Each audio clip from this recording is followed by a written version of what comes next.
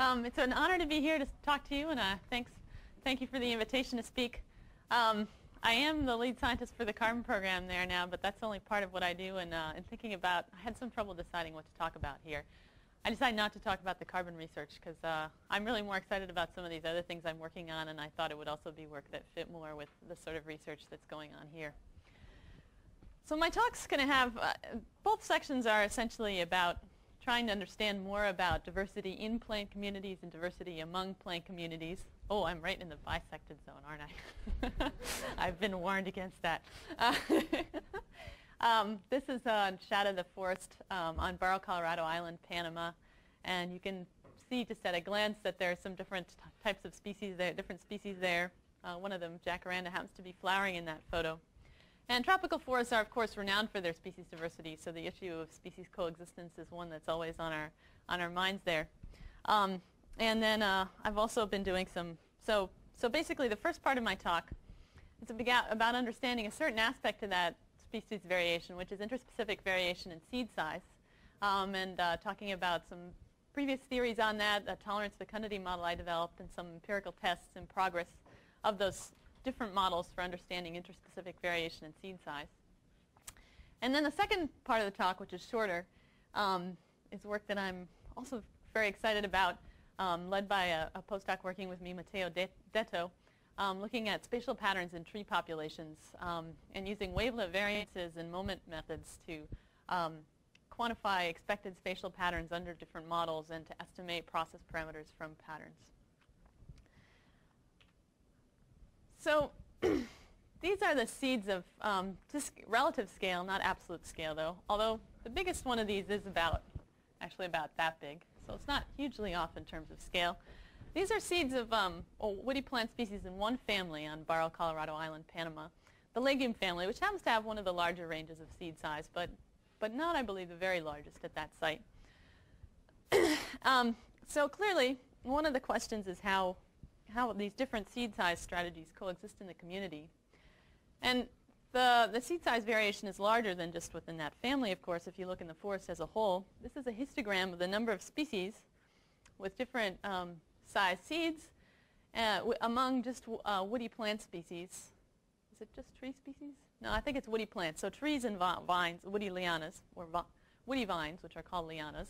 Um, ranging in seed mass between uh, less than a tenth of a milligram to more than 10 grams in, in uh, seed mass. This, is, uh, this pattern, clearly tropical forests are known for their diversity, and so perhaps in some ways one would say, well, okay, that's fine for the tropics. Oh, and in fact, these are the largest and smallest uh, seed sizes in the data set at the time I made this figure.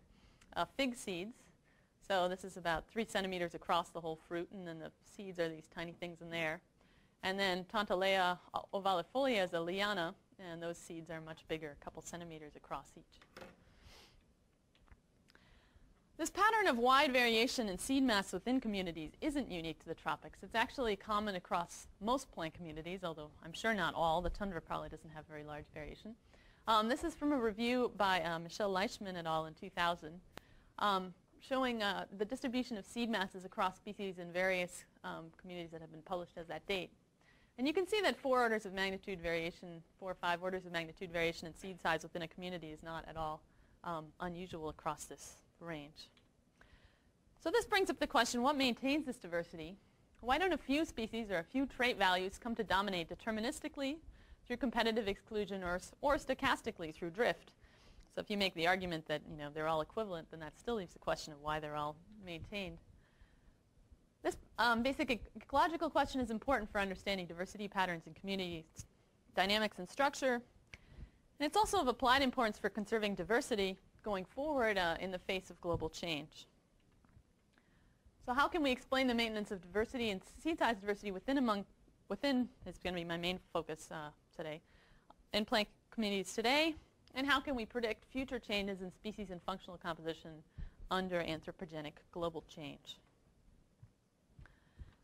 So there's the past explanations for the variation in seed size basically uh, fall into two categories.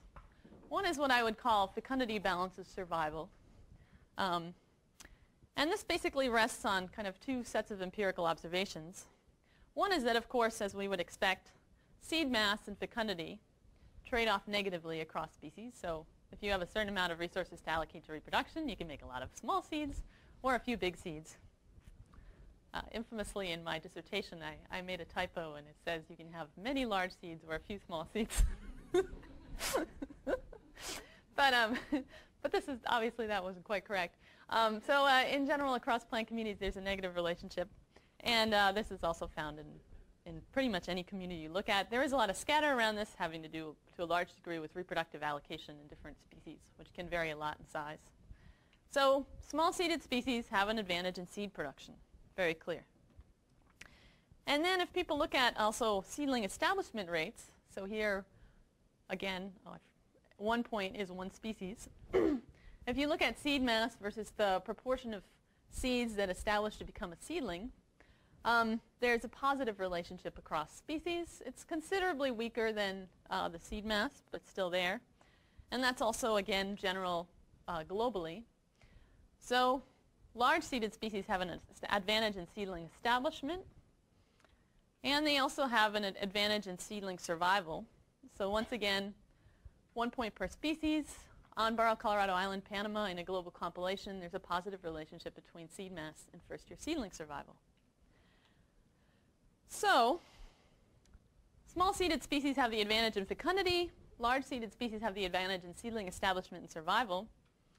Do these balance out to ensure that all species, regardless of seed size, have the same per capita reproductive output?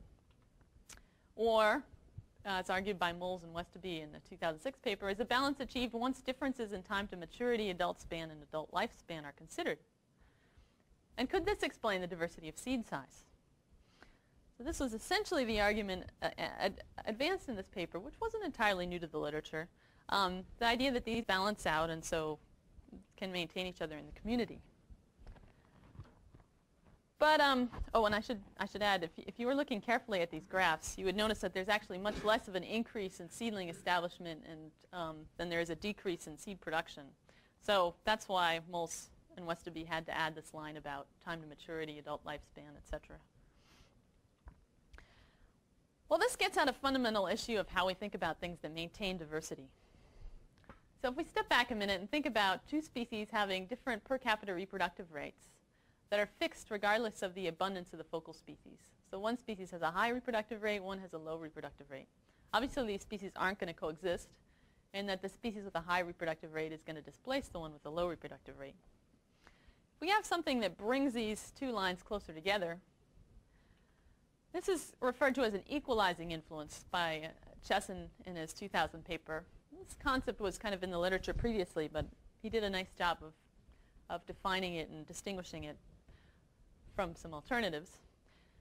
This whole idea of a, this, this sort of equalizing influences minimize fitness differences among species that would otherwise lead to competitive exclusion in the extreme um, towards neutrality.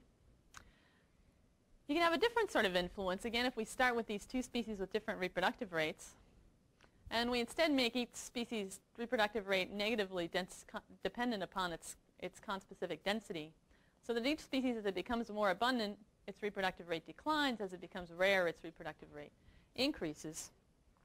This is what Chesson referred to as a stabilizing influence. This means that if your um, abundance shifts a little bit, you tend to come back to the same one. You have uh, an equilibrium abundance and in the simplest sort of models. this basically is because these influences increase negative intraspecific interactions relative to negative interspecific interactions. Now, if we, if we just look at two species in a community, we might see, okay, these species have two different abundances and they have the same per capita reproductive rate. Here we've got two species, two different abundances, same per capita reproductive rate. Just from kind of looking at things in stasis, we don't know which one of these mechanisms is operating. But there's a key difference because this equalizing uh, influence, in the best case scenario, makes dynamics neutral, or, or at least more neutral. But it's only the stabilizing influences that enable stable coexistence. And in and of itself, the trade-off between fecundity and seedling survival is merely an equalizing influence, not a stabilizing influence. So in the very best case scenario, if all those seedling establishment things exactly trade off with seed fecundity, then you get the, with fecundity, then you get the same number of seedlings or adults per adult, the same reproductive rate. but they're just neutrally stable. They're not, um, you know, if you make one more abundant than the other, there's no reason they're going to come back. So this is not a, a, mechanism that maintains diversity in the strong sense that you, it can actually recover from perturbations. And there's a lot of reasons to think that seed size is not merely a neutral trait, including the fact that you have very consistent distributions of seed sizes within similar communities and different distributions in different, um, different types of communities. All right, so I would say we can uh, dismiss that explanation. Now another explanation that's been even more prevalent in the literature is the competition colonization trade-off model. This is a model that goes way back to uh, Levins 1969 and possibly even before that. Um, it was really popularized by Tilman in 1994 um, with a paper in Ecology. And um, it's, it was linked to seed size. Uh, these, these original papers actually didn't say anything about seed size. But this idea that there's some species that are superior colonizers and are more fecund and others that are superior competitors kind of have stronger, kind of, which might translate to stronger seedlings, really kind of links so nicely to the traits that we know are linked to seed size that it, it quickly got linked to seed size in the um, plant ecology literature. And it basically suggests that this trade-off between seed number and seedling establishment success could contribute to coexistence via competition colonization trade-off mediated by seed size. Now the basics of how this competition colonization trade-off works, the classical theory, can be illustrated by thinking about two species. In this case, uh, a comp more competitive species is here in the dark um, colors, and a better colonizing species, more fecund species, is here in the light colors. And you, um, each of these species produces seeds. The better colonizer produces more seeds, more widely distributed. The better competitor produces fewer seeds, less widely distributed. And then um, disturbance or whatever kills some, some fraction of the adults, or they just die on their own or whatever, opening up gaps and then basically the best competitor in each gap wins it. And in a lot of cases, that means that the better competitor is there and it wins. But in some cases, there doesn't happen to be a better competitor that land, whose seeds landed in the gap, and so the better colonizer wins by default. And thus, in the next generation, once again, you have both species, both functional approaches represented. Um, this, is, this mechanism can maintain diversity, uh, or can maintain both these species in a stable way. You perturb either one, the other one can invade, and so forth, and come back.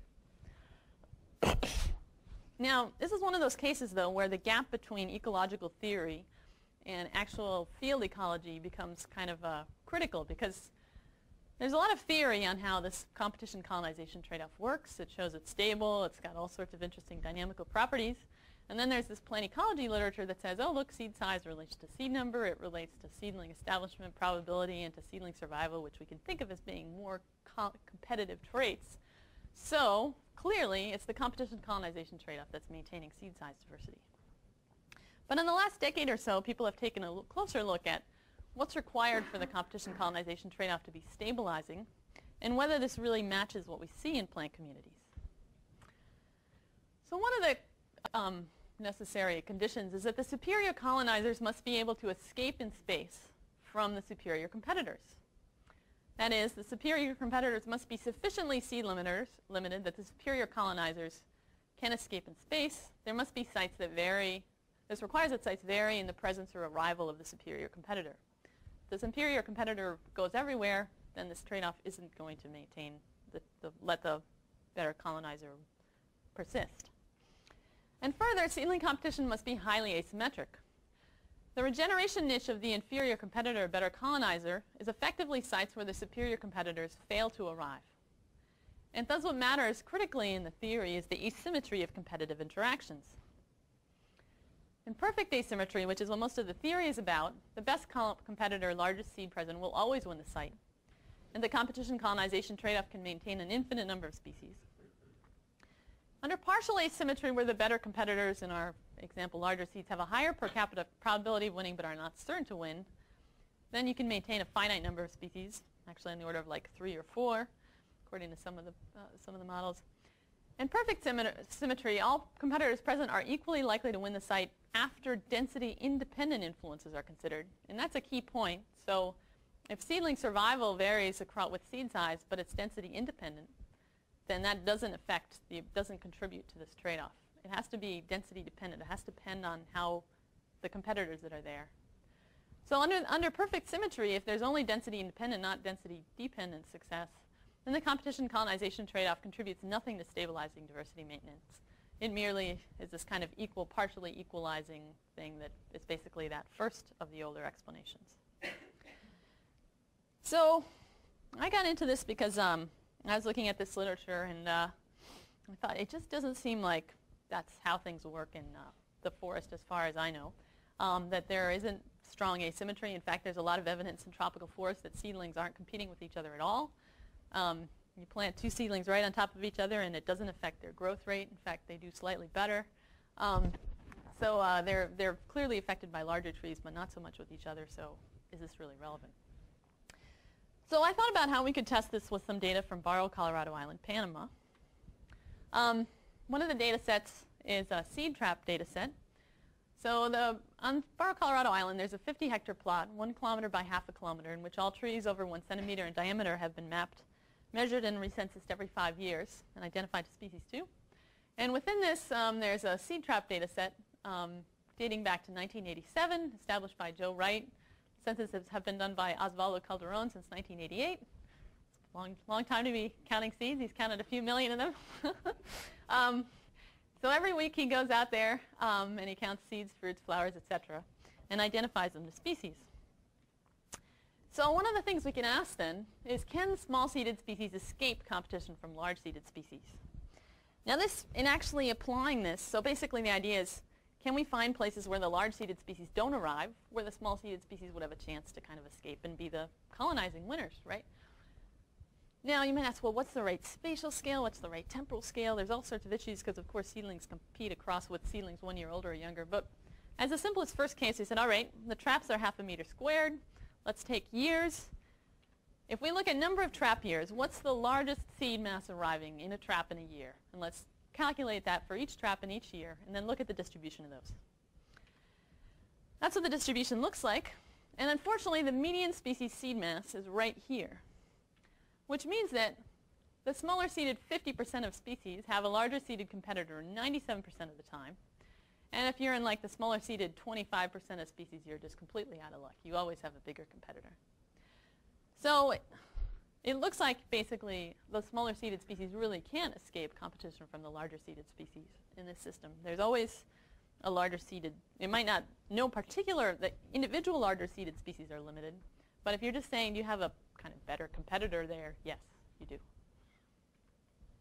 Even if we just look within half a meter squared in one year, forget about several years, maybe a meter by meter or whatever.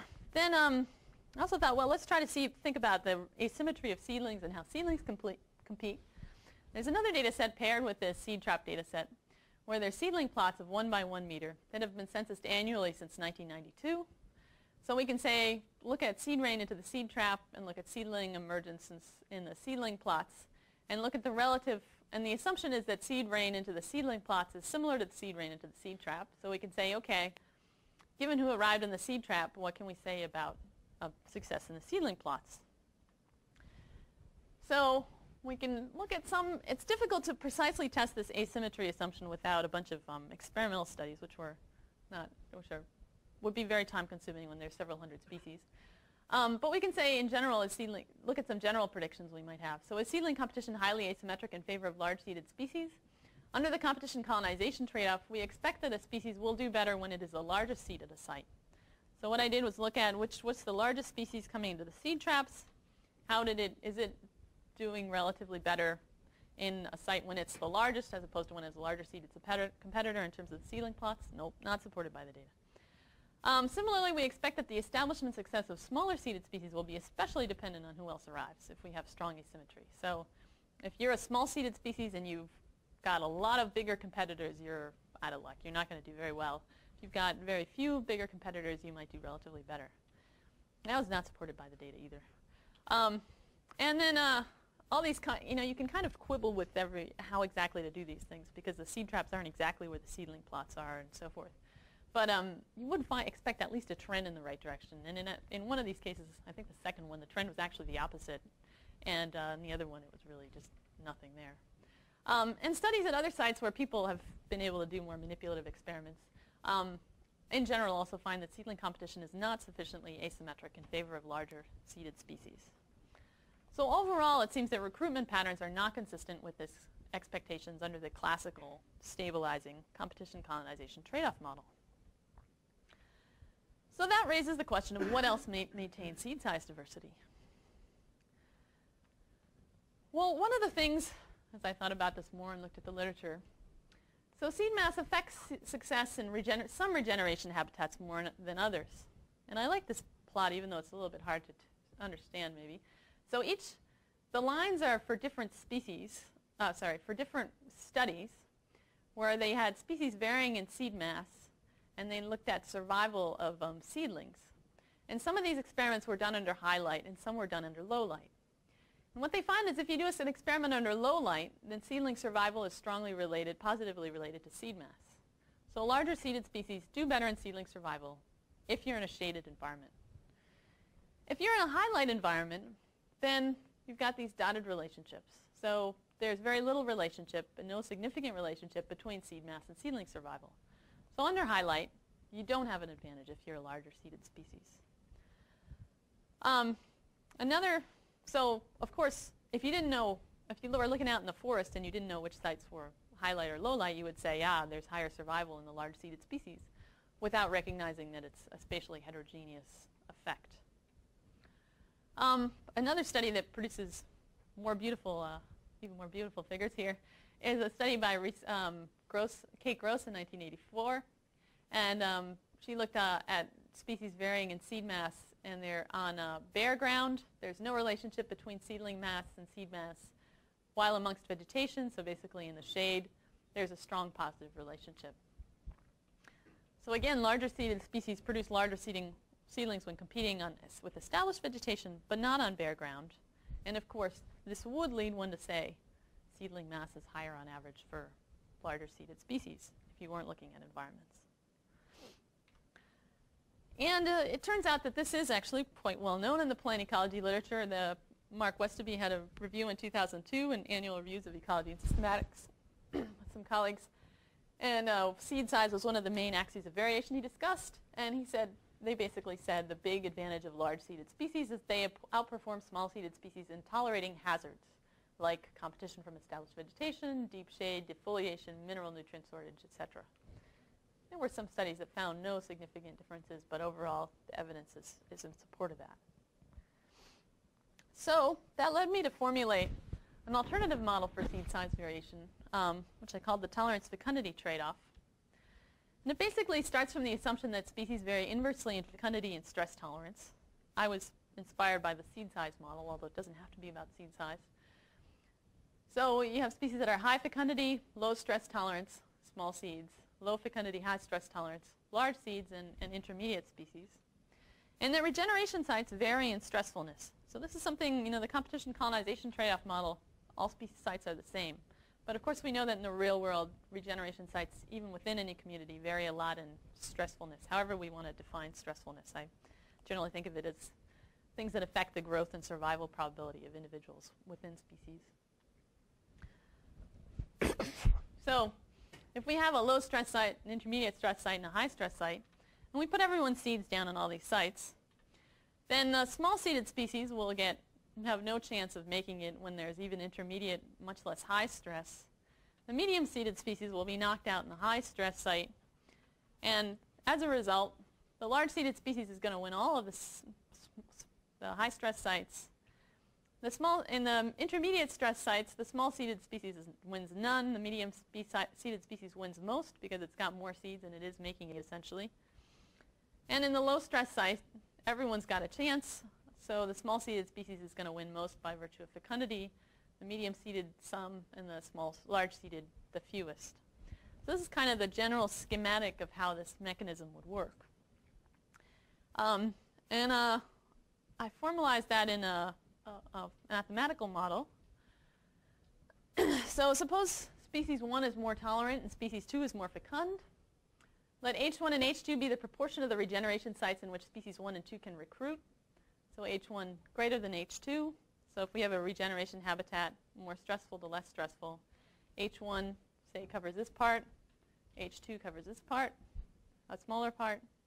And let F1 and F2 be the fecundities of species 1 and 2, with fecundity, species 2 having a greater fecundity. And let P1 and P2 denote the abundances of species 1 and 2 in proportion occupancy of total habitat. So the sum of P1 and P2 is less than or equal to 1. Then at equilibrium, the abundance of P1, first of all, P1 is going to have all of, so in the first um, in the first model, I assume that seeds make it everywhere. I relax that later. Species 1 is going to be the only one that can compete for the section H1 minus H2 here. I think I have that, yeah, labeled. So it's going to get all of that. And then it's going to get a fraction of H2 that's proportional essentially to its seed rain into H2, which is its fecundity times its proportion occupancy divided by its fecundity times proportion occupancy plus that of species 2. And similarly, we can require species 2 is just going to have the other fraction of this section H2. Two equations, two unknowns. We can solve for the equilibrium of these, uh, equilibrium abundances. And this turns out to have a very nice graphical interpretation. If we graph um, the two species fecunded in a space of fecundity and habitat tolerance, so proportion of the habitat they can, in which they can recruit, and then we draw a line from F2H1 through F1H2 to the y-axis. That line hits the y-axis exactly bisecting the, the relative abundance of P2 and the relative abundance of P1. And coexistence requires that F2H2 is greater than F1H1, which basically means that the rectangle circumscribed by F species 2 is greater in area than the rectangle circumscribed by species 1. The, a, coex a coexistence and invasion analysis shows that these, these, um, this model is stable coexistence and that there's the invasion conditions are basically if you have a, a particular resident species, obviously you can invade if you're worse in both and you can invade and displace if you're better in both. And then there's uh, part of these areas where you can invade and coexist. Um, and uh, this, this model can then be extended to, um, to the end species case equilibrium can be solved for again. Um, and uh, this has also, again, has this nice graphical interpretation where you take, for each species, if you draw a line from the next, the, the fecundity of the next higher species and the ha habitat tolerance of the next lower, through the fecundity and the habitat of the, of the next lower species and the habitat tolerance of the higher, to the y-axis, then basically you divide the y-axis into the relative abundances of these species which provides a nice graphical interpretation of the coexistence conditions. So the coexistence conditions are basically that these lines have to, can't cross, otherwise the species is basically knocked out because it doesn't, if this line were to cross this line, then there would be no space for species P4, and that they have to intersect this axis between 0 and 1, they can't go below it, basically. Um, now note that the abundance of a species, this also provides a nice graphical interpretation that the abundance of a species depends only on the parameter values of the species on either side of it. So there isn't any inherent relationship between your fecundity and your abundance or between your habitat tolerance and your abundance. It's basically a niche partitioning sort of problem, and if you've got a lot of species in your niche, you're going to be less abundant than if you've got few kind of competing in the same region of parameter space. Okay, so there's uh, in-species coexistence and co conditions. Um, and uh, provided these coexistence conditions are met, an arbitrarily large number of species can coexist via this trade-off by partitioning spatial variation in habitat tolerance. Now, obviously there's some unrealistic aspects of this. Um, I did show in the paper that it's uh, robust to um, relaxing the assumption that seeds make it everywhere. Uh, that does narrow the coexistence co conditions somewhat, and then some subsequent work by some other folks. Um, what's her name at uh, Michigan? Now blanking at the moment. Um, has also looked at it for uh, more continuous variation in terms of uh, when you can establish in a site. Now, it's all very nice to make models, but it's nice if you can map them onto uh, real communities too. And so one of the things I've been uh, working towards when I'm not doing carbon stuff or other, other things is, uh, is testing this um, more rigorously, especially relative to the competition colonization trade-off in our system. And one of the key aspects for empirical tests is obviously the relationship between fecundity and the proportion of habitat tolerated in real communities. So this relationship basically where what's the manifold where you have possible combinations of fecundity and habitat tolerance, what's inferior and excluded, what's infeasible. The shape of this curve is ultimately going to determine the ecological and evolutionary dynamics and thus species co composition because going back to this, say the, the possible manifold went something like cut vertically through this or horizontally through this, then relatively few species would be able to coexist relative to if it's, it's closer to this kind of uh, theoretical possibilities. How do we quantify that relationship in real communities? Well, we need to measure two things. One is fecundity and one is stress tolerance. In our case, we might do that with respect to seed mass. So we already have a pretty good idea of how fecundity relates to seed mass. Uh, on kind of first principles grounds, we would expect a kind of uh, an inverse relationship.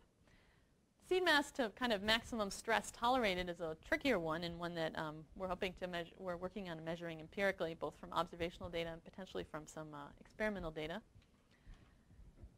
And then if we have kind of, this is an arbitrary stress score here, um, but we would, if we have the maximum stress tolerated essentially by a species, and then we also need to know the distribution of habitat stressfulness in the community, then we could put that together to come up with a cumulative distribution, how much of the, how much of the community is less stressful than, for any, than any given amount, and thereby, what's the relationship between habitat tolerance and fecundity.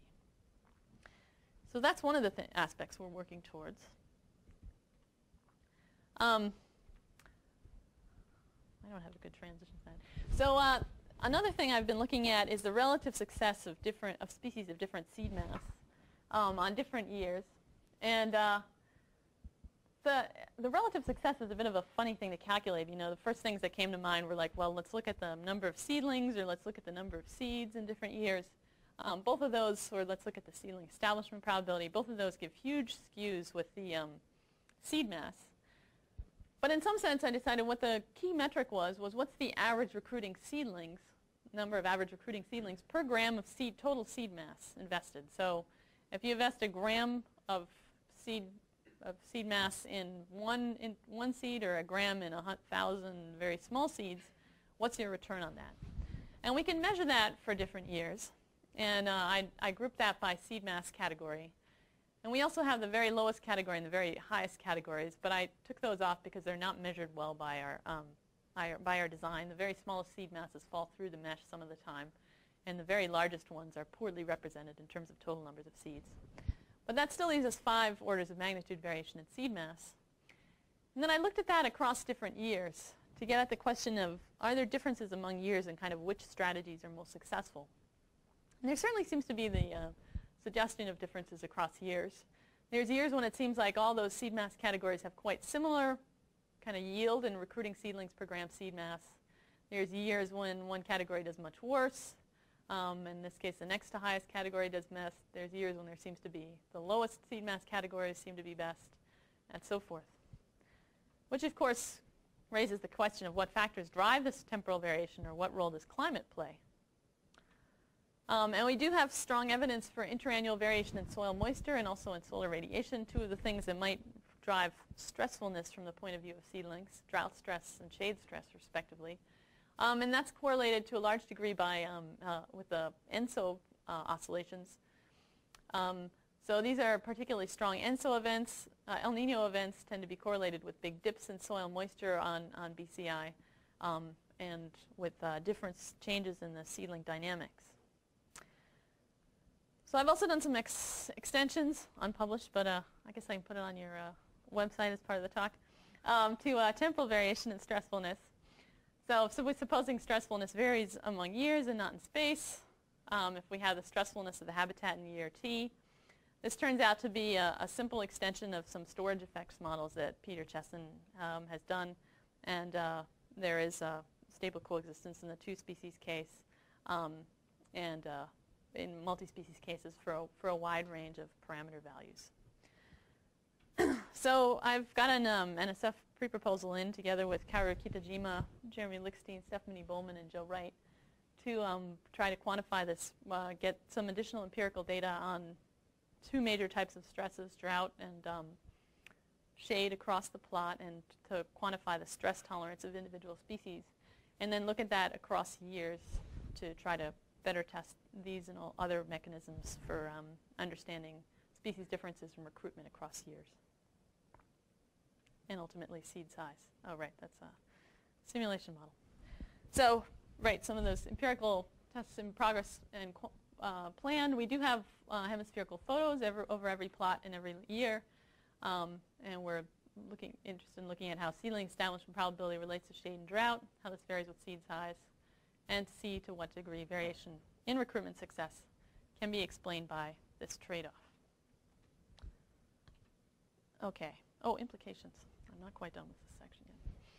In terms of understanding community dynamics, under the competition colonization trade-off, species are partitioning endogenous heterogeneity created by variable seed arrival. Under the tolerance fecundity trade-off, species are partitioning exogenous heterogeneity in the stressfulness of regeneration sites. So that's quite a contrast in terms of how we think these mechanisms work. And this also has consequences for predicting uh, what happens under anthropogenic disturbances. So one of the reasons so many people know about Tilman's competition colonization model is that he had a, um, a extinction debt paper in 1994, which is actually, I think this is, it's been cited a lot more times since I wrote this slide. I haven't updated it. Concerning the fate of species coexisting under this trade-off in the face of habitat destruction. And it had this very counterintuitive result, which is probably why I got into nature, that the most competitive or least fecund species are the most vulnerable to extinction when even a little habitat was lost.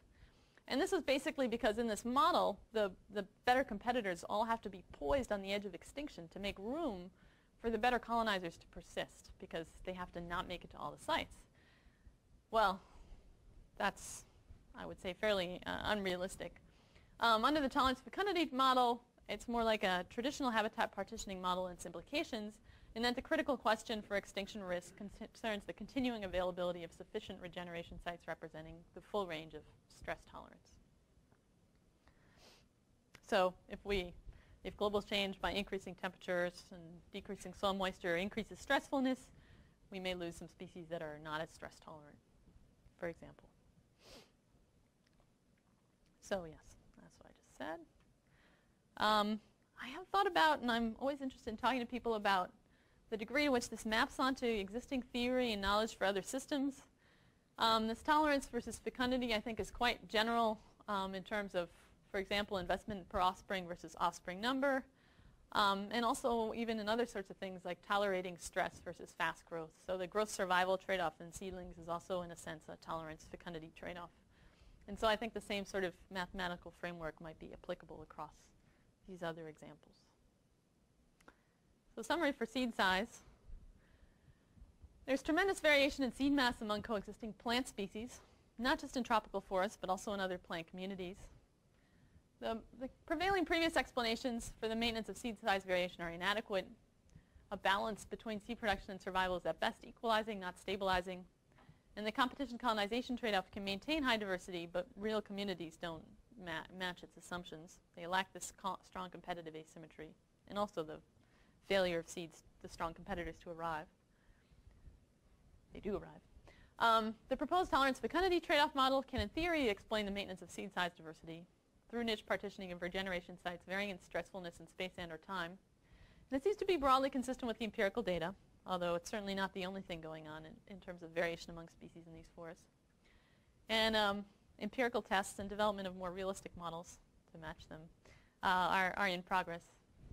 And um, I do wonder how, to what degree it might be applicable or useful in other systems, um, and more generally into uh, insight into how environmental change affects species composition.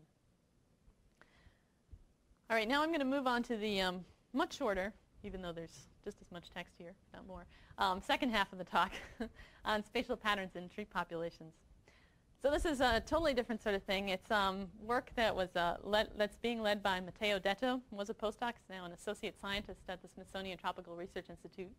Um, Matteo came from an environmental engineering background, so uh, early in his postdoc I pointed him to some moment methods papers, and he immediately understood them.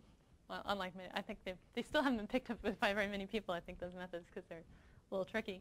And he said, oh, but you know, you could do this so much better if you did it in Fourier space instead and used wavelets. Said, really? so, um, so he, uh, he got us started on this uh, very interesting work, in my view. Um, focused on this kind of point that, uh, well, heter heterogeneous spatial patterns are ubiquitous in ecology, and they are due to multiple processes, including local dispersal, neighborhood competition, habitat heterogeneity. and uh, when we measure these sort of aggregations, a, standard sort of measure are things like pair density correlations, where you say how many individuals are um, at different distances from a focal individual. What's the, what's the correlation at some distance in the number of individuals in the ring with a focal individual? And you typically get something like this as a, as a standard sort of second moment. So you can go from this pair density correlation to wavelet variances by first applying Fourier transforms and then applying wavelet filters. So wavelet filters are basically just a way to do a Fourier transform in a, uh, an area that's restricted in space or time, depending on what you're analyzing, instead of applying it to the whole thing. And then use those to obtain the norm, what's called the normalized wavelet variance. And I'm going to, so for example, for this pattern that was shown before, the normalized wavelet variance looks like this. So it's where, in general, um, wavelet variant, normalized wavelet variances of 1 mean complete spatial randomness. So this, this says that at scales below 1, uh, unfortunately there's no scale on this, the pattern is completely random, and then it's clustered at scales above that. And I'm going to show you some of how to interpret these, because I don't know, maybe some of you already have experience with wavelet variances, but when I got into this literature, I had no sense for what, what they meant exactly. so uh, if we look at, um, for instance, a Poisson process, so global dispersal, if we uh, have a homogeneous habitat versus an inhomogeneous habitat, um, if we take the correlation density, these differences um, show up at essentially small scales, so distances beneath 100 meters, we see an elevated density of of uh, individuals at short distances from current individuals relative to long parts away. This, is, this kind of gives the impression that the spatial structure is at scales less than 100 meters. Wavelet variance essentially kind of separates things by scales the other way around, and it so it says that at small scales we have no deviations from complete spatial randomness, but the spatial structure emerges at scales of 50 meters and above, where this goes up like that. Um, If we um, look at now local dispersal in homogeneous versus inhomogeneous habitat, um, then uh, pair correlation density shows that, uh, again, the inhomogeneous habitat has kind of this higher variation locally than, further, than the inhomogeneous habitat, even though, again, really the, the, the habitat is emerging at higher scales. Um, the wavelet variance, I've been talking to Matteo about fixing this figure, uh, shows that small-scale spatial structure is the same in both cases. At larger scales, it's actually, this figure was cut off too short, the, the, the structured habitat deviates from the unstructured habitat. So basically, the habitat variation emerges at, at and larger scales where, at, as differences in the wavelet variances at these large scales, whereas in the pair correlation density, it emerges at essentially the small scales. So it's kind of a different way of looking at wavelet variances uh, uh, at spatial patterns. And the key, the key thing that um, makes engineers and so forth excited about it or hap happy with it is that it has more potential to potentially dis disentangle processes happening at different scales and show which ones are in which part of the pattern. And you'll see more of that as I go through this.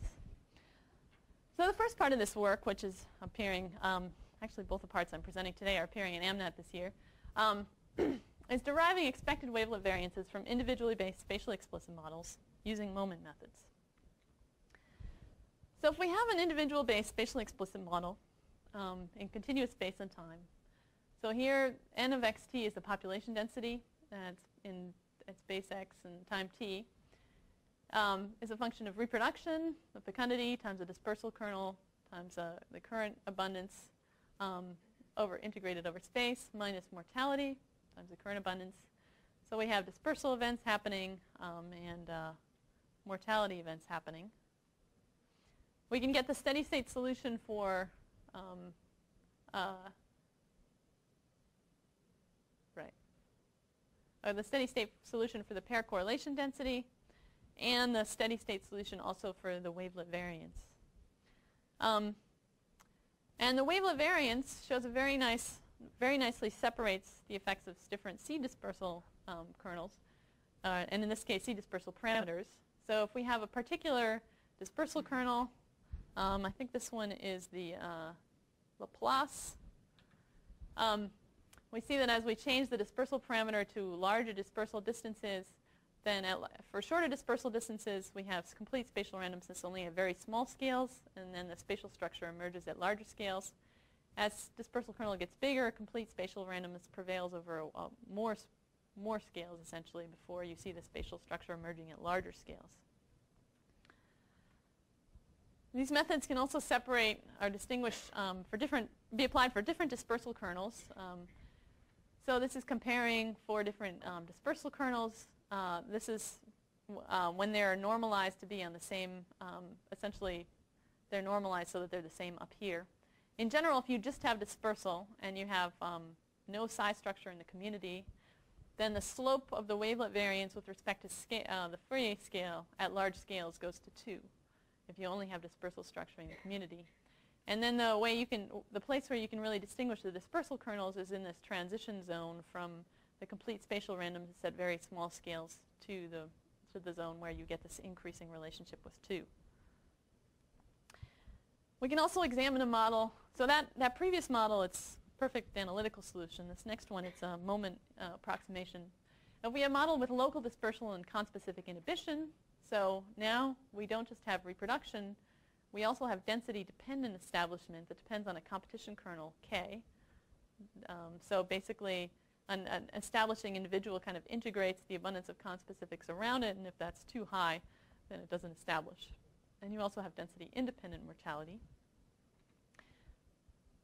So density-independent, right. Um, then we can get an approximate solution from closing the, for the wavelet variance from closing the third moment.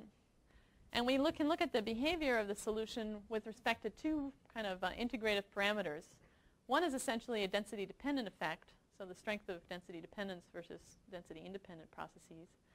And another is a scaling of dispersal to the, the dispersal scale to the density-dependent scale, so a ratio of those.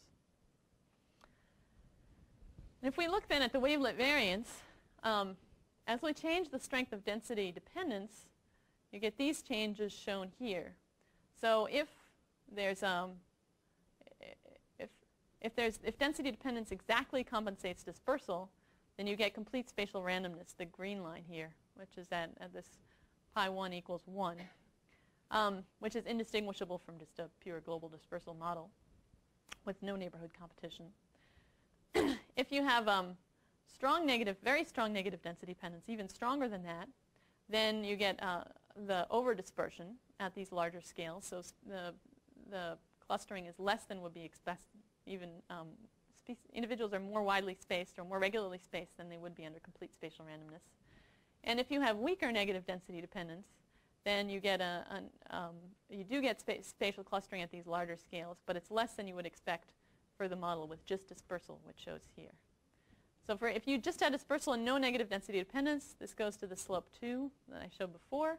And as you get different negative density dependence, you change qualitatively this, um, this system. So I'd always thought before this that um, basically it was impossible to, just by looking at spatial patterns, to distinguish whether there was, that there would be an infinite, essentially, combination of dispersal and negative density dependence that could give you any particular spatial pattern. And from looking at this, I realized that in a lot of cases that's, that's not true, that you can actually start to distinguish them because of the differences in these wavelet variances, that if there's just dispersal, this long-range slope goes like this, and if there's um, negative density dependence. So these shifts in this, the shape here can essentially tell you something, even if you only have spatial patterns. And in the case of, there's also some very interesting effects of the scaling dispersal relative to density dependence. So if dispersal is long relative to density dependence, so high values of this parameter, then essentially you start by getting a relationship similar to under pure dispersal, but at longer distances, um, you, uh, you, you get the density dependence kicking in. Is that? That looks like it would be backwards. And uh, the other, the opposite case, you get um, over dispersion at very short distances, and then going towards uh, a negative density dependence, but uh, going, going up towards some clustering at longer scales.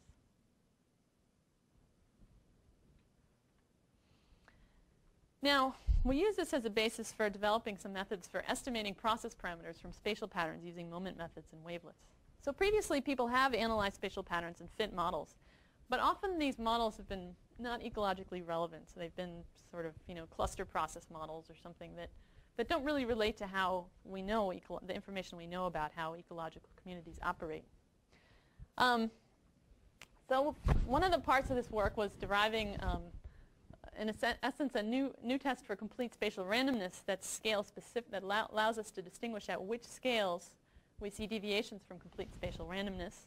And um, we found the an analytical solutions for this and verified through simulations that the analytical solutions are correct, that they're exactly, the observed and predicted quantiles are exactly on. so there are previous tests, obviously, for um, complete spatial randomness. The, the particular um, improvement here is the ability to separate what's happening at different scales. And then um, also looked at the expectations under non-random processes. So for a Gaussian seed dispersal kernel, again, we have the analytical solution, the analytical, um, or analytical expectation of the confidence intervals, and then the predicted um, simulations. And those, again, agreed very well, um, showing that we had, we had a, the, the analytical solution for the confidence intervals was correct. So with this then, we could basically develop a maximum likelihood method for estimating things like the seed dispersal parameter from the observed wavelet variance in a species. So we apply this as a case study in this paper to four species on, on Barro, Colorado Island. So this species, Desmopsis panamensis, is a shrub. Um, here's its uh, wavelet variance, is the black dots here on, um, on the large scale and then zoomed in on a small area, of, on a small scale area um, shown here. And then the lines show uh, two different fits. Oh, I don't have the details shown here. Sorry. So the blue is the pure dispersal model, and the green is the dispersal and negative density dependence. And you can see that especially as you zoom in here, that um, there's clearly must be conspecific negative density dependence because the pure dispersal model does a much worse job of fitting than the model with negative conspecific density dependence. And with that, then, we can estimate the um, the scaling of dispersal and, and negative density dependence um, and the, uh, the strength of negative density dependence. And this model is strongly supported over the pure dispersal model. Similarly for uh, Guatteria dumet well, Guatteria dumetorum is another example. it's a understory tree. Um, uh, again, um, here, the model with negative density dependence does a little bit better, but not nearly as much better. So there's, there's not as much of a strong difference, although it does seem to be capturing certain features that the pure dispersal model is not capturing. The AIC difference is much less in this case. Um, the dispersal scale is much higher than in the first example. It's got longer range dispersal. Um, we've got some ongoing work. Uh, you probably have been thinking, well, but what about this and what about that? What about habitat? What about uh, re reproductive variation among individuals, etc. Um, we have uh, several papers in various states of, uh, of production. Um, one is investigating natural enemy interactions. So this is on the lines of using the methods to go from models to expectations and spatial patterns and um, population dynamics and structure. We're also characterizing uh, interspecific variation across many more species in spatial and patterns and inferred process parameters. Um, a new manuscript, uh, just sent me the first time a, few, a week or so ago, looks at spatiotemporal patterns. I kept telling him, you'll get more information if you look at dynamic data, and he finally looked at it. um, and uh, in models and data, um, which is very interesting results in terms of uh, how, uh, how the persistence of patterns varies, not just with turnover, obviously, but after correcting for turnover with species abundance and, and life history models for heterogeneous environments, multi-species models, and analysis of multi-species patterns. Obviously, by the time you add these different sorts of parameters, you once again get too many things you're trying to estimate at once, but we do often have other uh, information we can use to, to constrain these, these models. So a summary of the spatial patterns, again, this is led by Matteo. Um, the variances provide a key tool for investigating spatial patterns, one that separates influences operating at different spatial scales and is analytically tractable. enabling linkage of patterns to realistic models, not just these sorts of cluster process models. Um, moment methods can provide analytical solutions or approximations of wavelet variances expected under different spatially explicit individual-based ecological process models. And uh, we provide a statistical framework for testing the null hypothesis of complete spatial randomness in a scale-wise way and for fitting ecological process models from spatial patterns um, using observed wavelet variances. I'm very excited about that work. So I've given you, uh, I've summarized kind of two very different sorts of studies I'm doing related to, inspired by or uh, modeled on the forest on Barro Colorado Island, Panama. Um, there's a lot of other work I'm involved in, and uh, I hope that those of you who are interested will have a chance to talk about it in terms of carbon, wood density, um, remote sensing, and so forth. But uh, um, I'd like to close by uh, thanking with some acknowledgments. Uh, Matteo Detto, my main, my collaborator on the second half, Joe Wright, uh, collaborator on the first, on the empirical analyses for the first half. Osvaldo and Andres, who collected the seed and seedling data. Um, Claudia and Dave gave um, comments on that first model. And uh, thank especially Joe, who's also my husband, who's home taking care of the kids this week. thank you.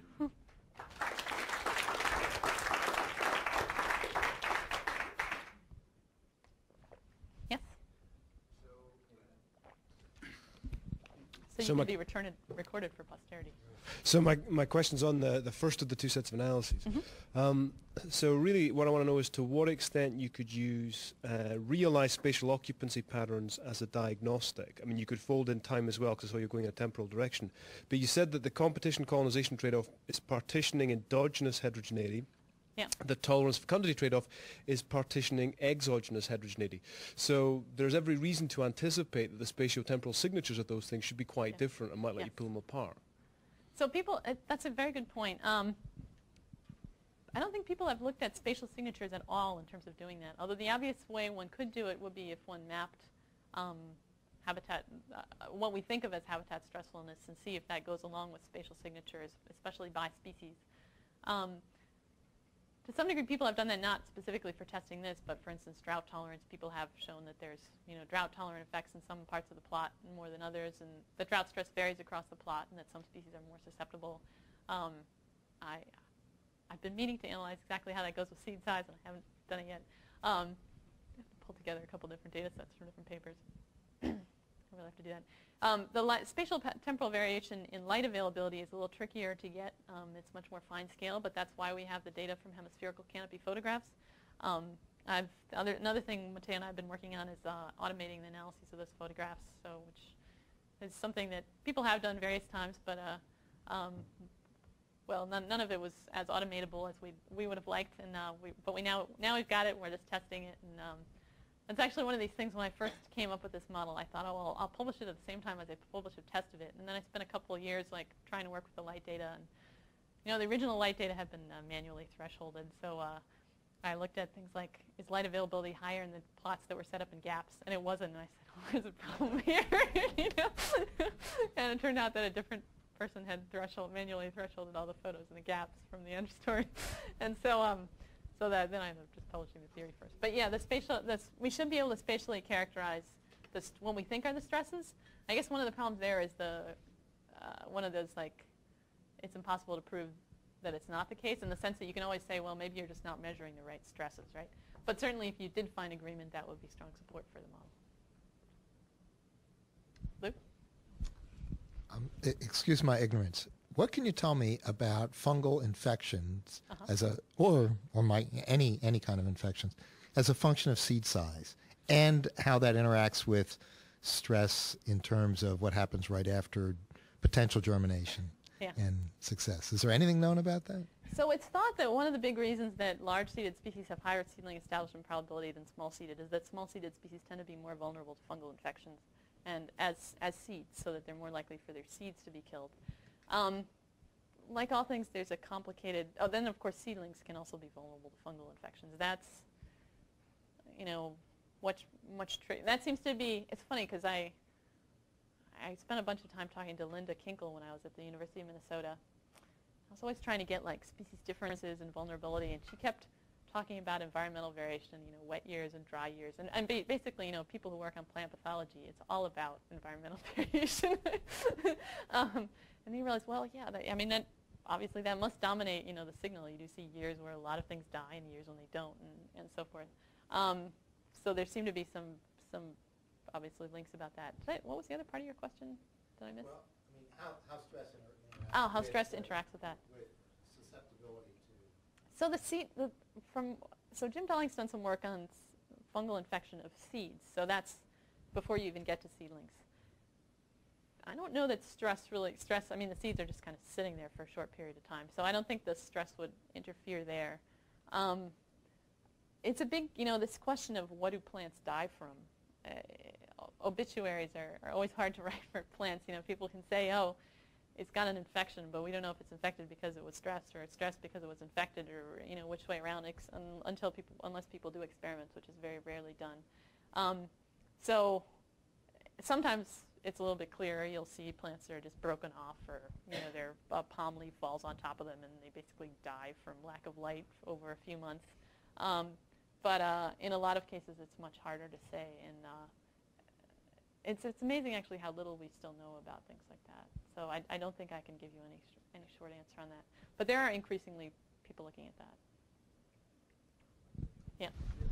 Uh, uh, yeah, I understand why fecundity or stress tolerance important factors of competition. Are there other important phenotypes? Uh, I don't know, the plant size or something?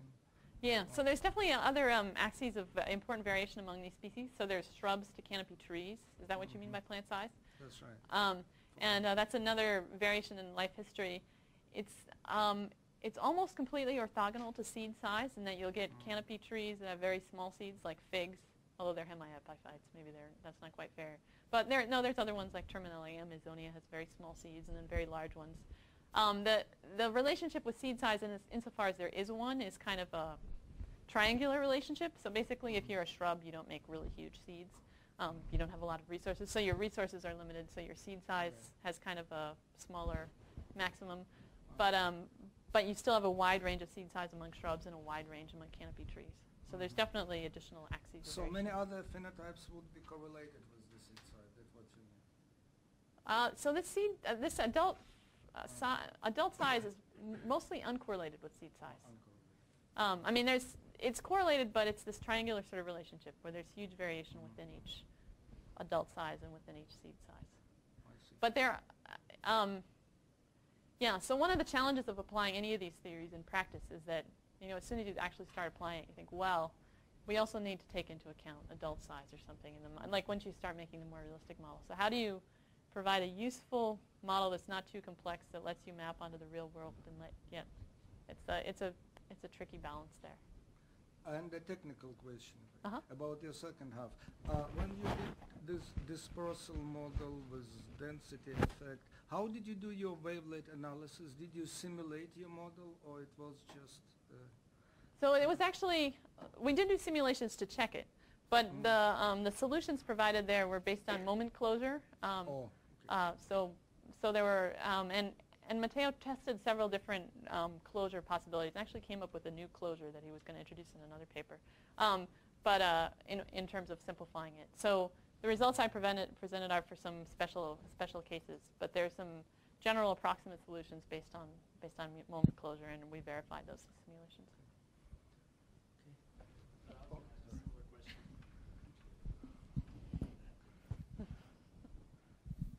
Yeah, um, a similar question about um, other types of plant phenotype. I was just curious about how, like, dispersal mechanisms, especially like if you think of a tropical system, a lot of stuff has fruit, and so like things that maybe have larger seeds can be dispersed by frugivorous animals and then get to better sites and you know have a better microsite. And does that, you Yeah, know, how does that variation also with it all? explain some of it, or? Right. So um, seed size is slightly negative, negatively correlated with dispersal distance. Um, it's a stronger relationship among wind dispersed species, which are about 25% of the canopy and lower proportions of the understory, much lower proportion of the understory species. Um, and that obviously makes sense. Bigger seeds are heavier. They don't go as far in the wind.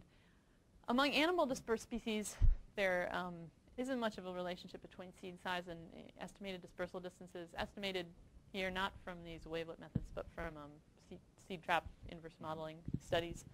Um, in general, uh, yes, larger ana um, animal dispersed seeds are dispersed by larger frugivores, but it's not at all, it's, it's again one of those triangular relationships. Large animals will also disperse some very small seeded things like figs. So uh, there's, that's one of the reasons there's no clear relationship. The issue of favorable microsites, um, so there's, first of all, yeah, oh, the other thing is there's no relationship between seed size and dispersal syndrome particularly, except that you don't have very large seeded wind dispersed things. You can't be very large seeded and be wind dispersed. But small seeded things, uh, animal dispersed is across the whole range of seed sizes. Um, what was I saying there?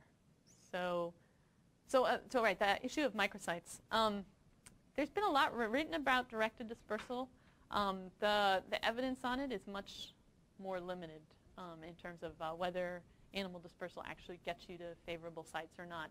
Um, some animal dispersal gets you to pretty unfavorable sites. A lot of animals will, you know, do a lot of defecation in a few, very limited area or a lot of spitting out or so forth. You know, birds spitting out seeds right by their nest or monkeys all in a sleep tree and all defecating in a, in a certain area so that you get very locally high concentrations of seedlings. Um, there's some, you know, very well-studied cases where there's directed dispersal to gaps, which are favorable, or things like that. But it's far from clear how common that phenomenon is overall. Um, uh, you know, most of the things are um, kind of dispersed from the canopy down without too much regard, I think, for what's underneath, except that it does mean that animal dispersed, things dispersed by terrestrial mammals, or arboreal mammals are not going to get dispersed into the gaps in general because the monkeys aren't going to go out in the middle of the gap and defecate, basically. Um, but they will get dispersed to gap edges. So in some ways, it's almost that uh, I, I, think the directed dispersal has been a bit too much of a focus um, in that there's probably just as many ways and things are kind of misdirected dispersal might, might almost be another way to look at it. So I don't think there's any systematic relationship with seed size, although it's definitely a, another big set of confounding things in terms of looking at any relationships.